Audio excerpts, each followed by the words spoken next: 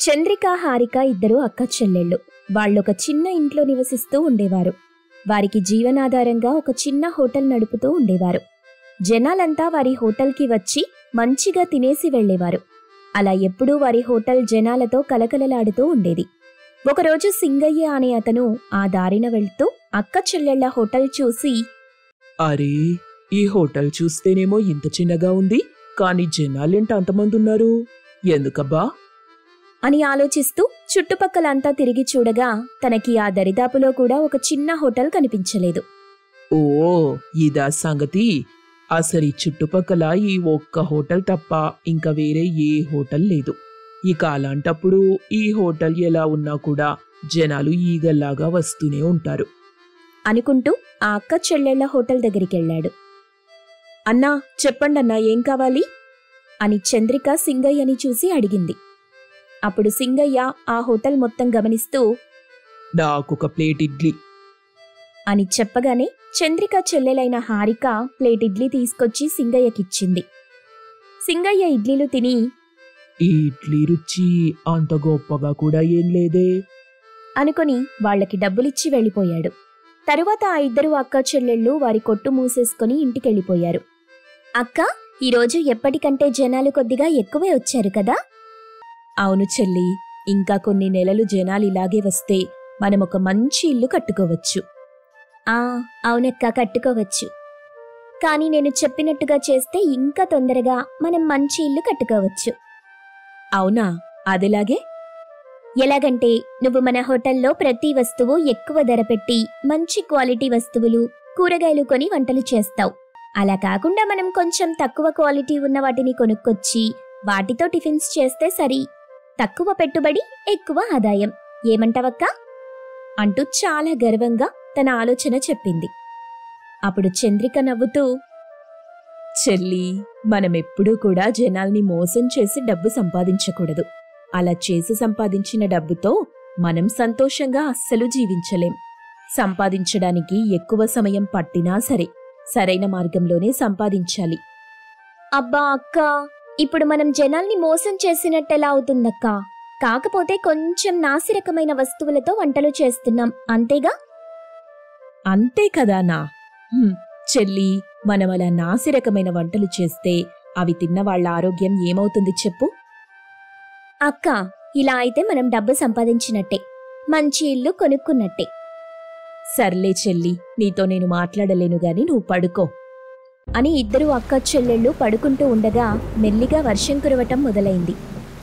ఆ చిన్న వర్షానికి వారి ఇల్లు తట్టుకోలేక కురవటం మొదలైంది. దాంతో ఇంట్లో అంతా నీళ్ళు చేరిపోయి వాళ్ళు పడుకోవడానికి కూడా లేకుండా అయింది.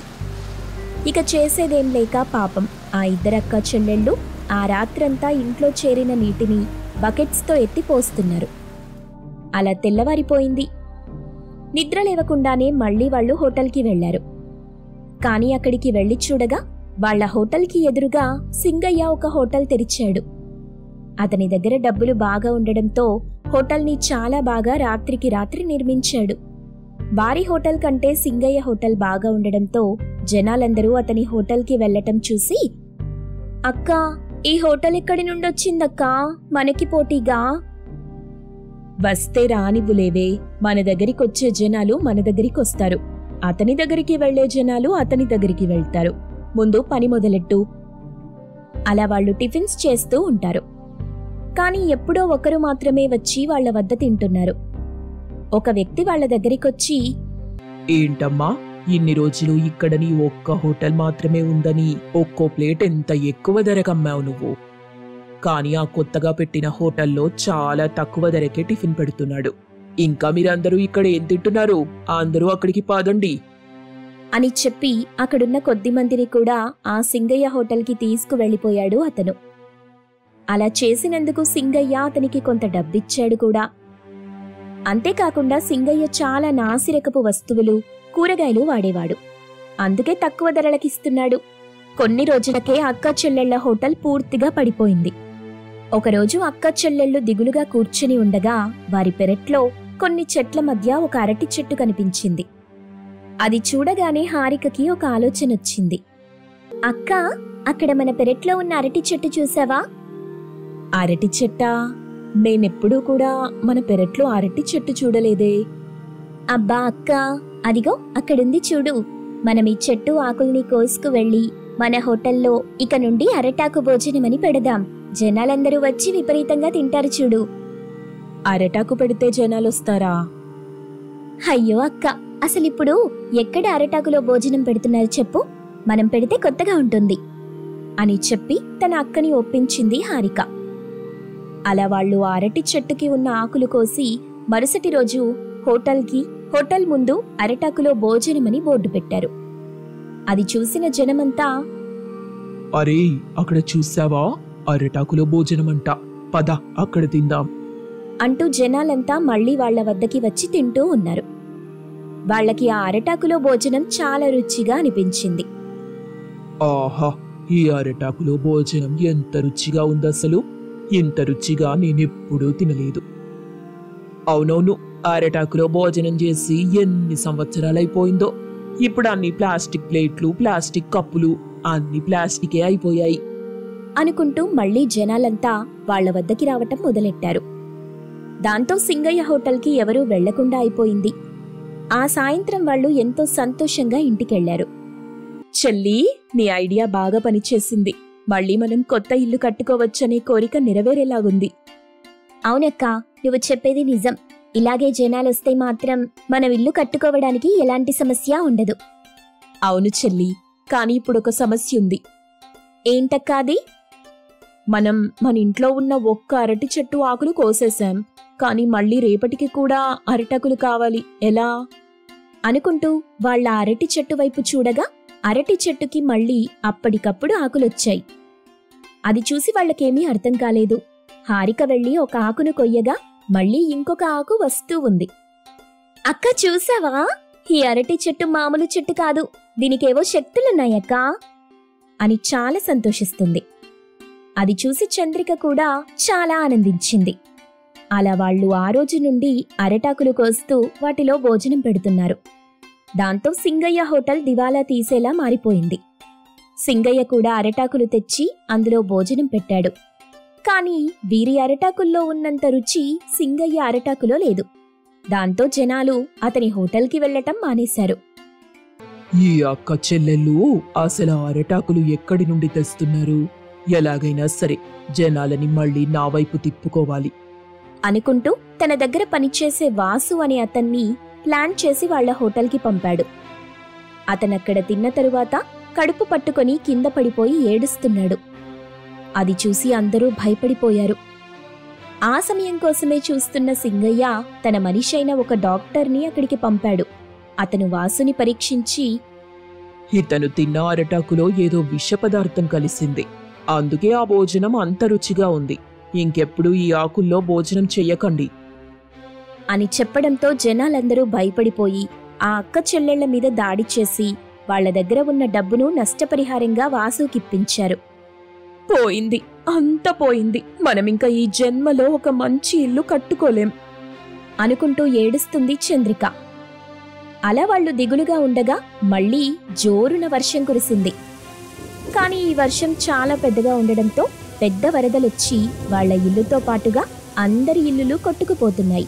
అప్పుడు వాళ్ళు వెళ్ళి అరటి చెట్టును గట్టిగా పట్టుకోగా చూడండి నేను మీకు ఎంతో సహాయం చేశాను. ఇప్పుడు కూడా నేను మీకు సాయం చేస్తాను. నా ఆకులు చాలా గట్టిగా ఉంటాయి. అంతేకాకుండా అవి నీటి మీద కూడా తేలుతూ ఉంటాయి. నేను మీకు ఎన్ని ఆకులైనా ఇస్తాను. మీరు వాటితో మంచి ఇల్లు కట్టుకోండి. అంటూ చెప్పింది చెట్టు. అప్పుడు వాళ్ళిద్దరూ ఆ చెట్టు చెప్పినట్టుగానే అరటాకులు ఉపయోగించి మంచి ఇల్లు కట్టారు. అది వర్షాలని వరదల్ని తట్టుకొని నిలబడుతుంది. ఆ వరదల్లో సింగయ్య ఇల్లు కూడా పోయి రోడ్డున పడ్డాడు. అప్పుడు ఆ అక్క చెల్లెళ్ళు అతనికి అతని పిల్లలకి ఆశ్రయమిచ్చారు.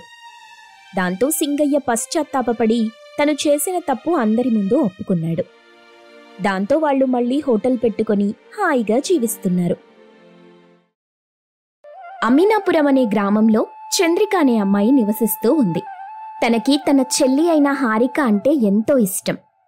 హారిక నేను చదువుకుంటానంటే చిన్నప్పుడు నాన్న మన దగ్గర చదివించేంత స్తోమత లేదని చెప్పి నన్ను పనికి పంపించాడు. తర్వాత నిన్ను కూడా స్కూల్కి పంపించకుండా పనికి పంపిస్తానని చెప్తే నాన్నతో గొడవ పెట్టుకొని మరి నిన్ను చదివిస్తున్నాను. నువ్వు బాగా చదువుకోవాలి హారిక. అక్కా నువ్వేం భయపడకు. నేను బాగానే చదువుకుంటాను కదా. నేను బాగా చదువుకొని మంచి జాబ్ చేసి మిమ్మల్ని అందరినీ బాగా చూసుకుంటాను. మమ్మల్ని బాగా చూసుకోకపోయినా పర్వాలేదు కానీ నువ్వు మాత్రం బాగా చదువుకో. ఇలా చంద్రిక కష్టపడుతూ హారికని చదివిస్తూ ఉండేది. హారిక స్కూల్ చదువు అయిపోయింది. పై చదువులకు పట్నం వెళ్ళాలి. అక్కా నేనెక్కడికి వెళ్ళనక్కా? నేనిక్కడే ఉంటాను. ఇక ఇప్పటి వరకు చదువుకుంది చాలు. ఏంటే ఏమైంది నీకు? మొన్నటిదాకా బాగానే చదివావు కదా? ఇప్పుడేమైంది? ఇలా అంటున్నావు? అక్కా పట్నంలో చదవాలంటే హాస్టల్లో ఉండి చదువుకోవాలి. అది నా వల్ల కాదక్కా. హారిక నువ్వు పట్నం వెళ్ళి చదువుకోకపోతే ఇప్పటి వరకు నువ్వింత కష్టపడి చదువుకొని తెచ్చుకున్న మార్కులన్నీ నీళ్ళ పాలైనట్టే. చూడు ఈ చుట్టుపక్కల ఎవ్వరికీ కూడా నీ అన్ని మార్కులు ఇప్పటి వరకు రాలేదు. అది కాదక్కా నాకు చాలా మంది చెప్పారు. హాస్టల్లో ఉండటం చాలా కష్టమంట. ఎవరన్నారే కష్టమని? హాస్టల్లో ఎంత బాగుంటుందో తెలుసా? రోజు పొద్దున్నే టిఫిన్ పెడతారు. అప్పుడప్పుడు చికెన్ కూడా పెడతారు. ఇక అన్నిటికంటే ముఖ్యంగా ఎప్పుడు కూడా ఫ్రెండ్స్తోనే ఉండొచ్చు. నువ్వెప్పుడు అంటూ ఉంటావుగా? అక్క ఫ్రెండ్స్తో మాట్లాడనివ్వవు నన్ను అని? ఇప్పుడు హాస్టల్లో అయితే ఇంకా ఫ్రెండ్స్తో ఎంతసేపైనా మాట్లాడుకోవచ్చు. అంటూ చంద్రిక హారికని హాస్టల్కి పంపించే ప్రయత్నం చేస్తూ ఉంది. దాంతో హారిక హాస్టల్లో ఉండి చదువుకోవడానికి ఒప్పుకుంది. కానీ హారిక తండ్రి మాత్రం హారిక పట్నం వెళ్ళి చదువుకోవటం నాకేమాత్రం ఇష్టం లేదు. ఇప్పుడది అంత దూరం వెళ్ళి చదువుకుని ఎవరిను తెరుస్తుంది అయినా దాన్ని పట్నంలో చదివించే అన్ని డబ్బులు నా దగ్గర లేవు. నాన్నా ఇప్పుడు దాన్ని గనక నువ్వు చదువుకోవడానికి హాస్టల్కి పంపించకపోతే నేను అది ఇద్దరం ఇల్లొదిలిపెట్టి వెళ్ళిపోతాం అంటూ బెదిరించింది చంద్రిక. ఇక చేసేదేం లేక హారికని హాస్టల్కి పంపించడానికి ఒప్పుకున్నాడు తన తండ్రి. తరువాత కొన్ని రోజులకు చంద్రిక హారికని హాస్టల్లో జాయిన్ చేయడానికి తీసుకెళ్ళింది. హారిక ఇదిగో ఈ సంచిలో నీకిష్టమైన మురమురాలు ఇంకా లడ్డూలు అన్నీ చేశాను. ఎవ్వరికీ ఇవ్వకుండా నువ్వొక్కదానివే తిను. వీటినెవ్వరికీ కనిపించకుండా దాచుకో. సరేనా? అక్క నాకు భయమేస్తుందే. భయం ఎందుకే నీతో పాటుగా నీ ఫ్రెండ్స్ లేరా ఏంటి? నిన్నేమైనా అడవిలో మృగాల మధ్య వదిలేసి వెళ్తున్నానా ఏమైనా? ఏడవకుండా లోపలికెళ్ళు. మళ్ళీ నెల తరువాత వస్తాను నిన్ను తీసుకెళ్ళడానికి. సరేనా? బాగా చదువుకో. అని చంద్రిక హారికకి మంచి చెడు చెప్పి ఇంటికి వెళ్ళిపోయింది. చంద్రిక హారికకి ధైర్యం చెప్పింది గాని తను మాత్రం ఇంటికెళ్ళిన తరువాత తన చెల్లిని తలుచుకొని ఏడుస్తుంది. అది చూసి తన తండ్రి ఏంటి చంద్రిక ఇది? దాన్ని హాస్టల్కి పంపించిందే నువ్వు. ఇప్పుడు బాధపడేది కూడా నువ్వే. ఇలా బాధపడే బదులు వెళ్ళి దాన్ని వెనక్కి తీసుకురావచ్చు కదా. వద్దు నాన్న. ఈ బాధ కొన్ని రోజులే. ఆ తరువాత అది బాగా చదివి మంచి ఉద్యోగం చేస్తుంటే అప్పుడు బాధలన్నీ సంతోషంలా మారిపోతాయి. అంటూ కన్నీళ్ళు దిగమింగుకుంటూ తన పని తను చేసుకుంటూ ఉంది చంద్రిక. ఇక హాస్టల్లోకి వెళ్ళిన మొదటి రోజు హారిక పది మంది ఉన్న గదిలో పడుకుంది. ఆ గదిలో తన పక్కన నుండి గుర్ గుర్ అని పెద్దగా శబ్దాలు వినిపించాయి. హారిక ఉలిక్కిపడి లేచి అమ్మ పులి పులి పులి అంటూ అరిచింది. అప్పుడందరూ లేచొచ్చి ఏంటి? ఏమైంది హారిక? పులేంటి? ఇక్కడ ఏ పులి లేదు. నువ్వేం భయపడకు. లేదు నాకు శబ్దం వచ్చింది. గుర్గురని. అది పులి గాండ్రింపు కాదే. నాదే గురక శబ్దం. భయపడకుండా పడుకో. అలా అందరూ వెళ్ళి పడుకున్నారు. హారిక కూడా పడుకుందామని ప్రయత్నిస్తూ ఉండగా తన ఫ్రెండ్ గురక వల్ల ఆ రోజంతా నిద్రపోలేదు. తరువాతి రోజు హారికకి రాత్రి నిద్ర లేకపోవడం వల్ల క్లాస్లో పడుకుంటూ ఉంది. ఏయ్ హారిక క్లాస్ రూమ్లో పడుకుంటావా? నిన్ను పడుకోవడానికేనా మీ వాళ్ళు ఇక్కడికి పంపించింది? లే! అంటూ హారికని కర్రతో కొట్టింది లెక్చరర్. పాపం దెబ్బలు తట్టుకోలేక ఆ రోజంతా ఏడుస్తూనే ఉంది.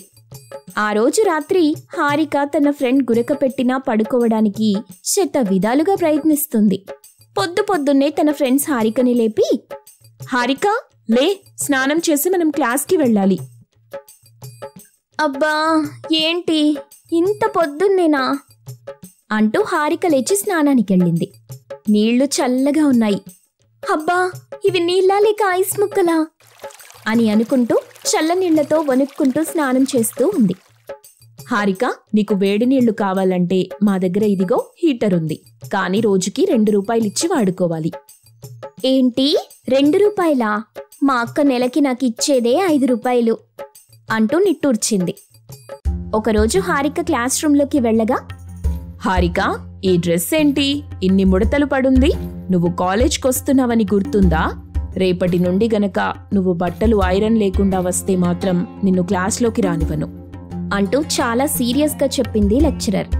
ఆ రోజు సాయంత్రం హాస్టల్కి వెళ్ళగానే హారిక తన ఫ్రెండ్ అయిన గీతాని గీత నీ దగ్గర ఉన్న ఐరన్ బాక్స్ ఇవ్వవా? నా బట్టలు ఐరన్ చేసుకుంటాను. ఐరన్ బాక్స్ కావాలంటే ఐదు రూపాయలు ఇవ్వు. ఏంటి? ఐదు రూపాయలా? దానికంటే హీటర్ నయం. ఇదిగో రెండు రూపాయలు తీసుకొని హీటర్ ఇవ్వు. హీటర్తో ఏం చేస్తావు? ఐరన్ చేసుకుంటాను. హీటర్తో ఐరన్ ఎలా చేసుకుంటుంది ఇది దీనికేమైనా పిచ్చి పట్టిందా? అని అనుకుంటూ ఉంది. కానీ హారిక హీటర్ తీసుకెళ్ళి హీటర్తో నీళ్ళను వేడి చేసుకొని ఆ నీటిని చెంబులో పోసుకొని చెంబుతో బట్టలు ఐరన్ చేసుకుంటూ ఉంది. అది చూసిన గీత వామ్మో నిన్ను ఎడారిలో పడేసినా బ్రతికేస్తావే? అలా హారిక హాస్టల్లో కష్టపడుతూ ఉంది. వామ్మో ఇంకా ఈ హాస్టల్లో ఉండటం నా వల్ల కాదు. ఇక ఇక్కడ ఒక్క క్షణం కూడా ఉండలేను. పొద్దున్నే టిఫిన్ రుచిగా ఉండదు మధ్యాహ్నం భోజనం రుచిగా ఉండదు. ఇక నా వల్ల కాదు అని బాధపడుతూ ఉంది. ఇలా కొన్ని రోజుల తరువాత హారికని కొన్ని రోజులు ఇంటికి తీసుకువెళ్దామని హాస్టల్కి వచ్చి హారికని ఇంటికి తీసుకెళ్ళిపోయింది చంద్రిక.